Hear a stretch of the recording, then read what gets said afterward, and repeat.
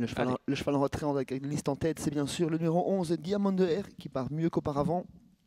Ça se passe bien pour tout le monde dans l'ensemble, même si ce dernier est un petit peu nerveux. On se montre fautif côté corde. Ouais, pas, pas méchant avec le 2, hein, Easy de, de Navari. Il va falloir quand même un petit peu accélérer. Allez, encore quelques secondes avant que l'autostart ne libère ses concurrents. Le favori, il a le 6. Déclic du GAD. Pas forcément le, gros débouleur, hein, déclic du GAD. Futé d'air, on devrait partir, mais l'intérêt, c'est quand même de, la reprendre assez vite. Diamondaire qui donne des coups de tête à l'arrière. Départ dans quelques secondes. Voilà, c'est parti à l'instant avec euh, numéro 4, qui prend un excellent départ, tout comme le 3, euh, Futé. On est bien parti également avec Es- Everest de Cassis, euh, le numéro 7. On a été repris hein, gentiment avec le 6, Déclic du Dial, le favori, euh, qui se retrouve euh, au sein du peloton.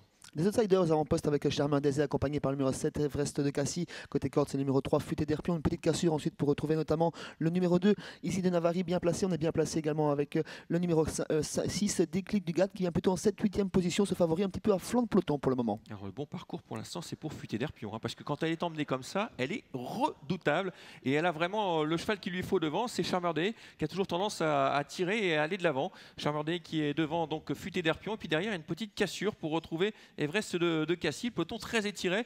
On voit le favori qui est en 8 position, qui se fait ramener à l'extérieur par Epaula Denet. Oui, pendant donné qui s'annonce au milieu de la piste, mais en tête, on n'attend personne et on fait du train avec Raph de Peuit et, et, euh, ce 4 Charmin Désé, Futé d'Herpion. On profite, on tente de ramener le peloton avec le numéro 7 Everest de Cassis. Il est lui-même suivi par le numéro 2 Easy de Navari. Côté corde, le numéro 9 Divine de Jana. Elle est même suivie par le numéro 10 Forever de Prest. Et on se rapproche toujours à l'extérieur avec le numéro 6 Déclic du GAD qui, compte, qui tente de contourner le numéro 13 Epona Denet. Oui, Epona Denet qui s'est rangé en deuxième épaisseur et maintenant Christophe se retrouve à, l'extérieur avec déclic du GAD. Il faut forcer l'allure parce qu'on a Virel en troisième épaisseur et c'est pas toujours euh, très bon. On passe devant les tribunes. Il reste un tour à effectuer avec euh, toujours le Charmer Day qui emmène sur un plateau pour l'instant Futé d'Herpion. En troisième position, nous avons euh, le numéro 7 euh, Everest de Cassis, Divine de Jana qui s'est bien rapproché également, euh, qui vient en quatrième position, en deuxième épaisseur, suivi encore par le 2 Easy de euh, Navari, ainsi que le numéro 13 Epaula Denet. Ah oui, 100 mètres du poteau, le peloton commence à se reformer avec Charmin Désé toujours en tête, seul pour le moment avec Futé d'Herpion dans son sillage. On ramène avec le numéro 9 Divine de, Na- de Jana qui vient prendre la troisième place.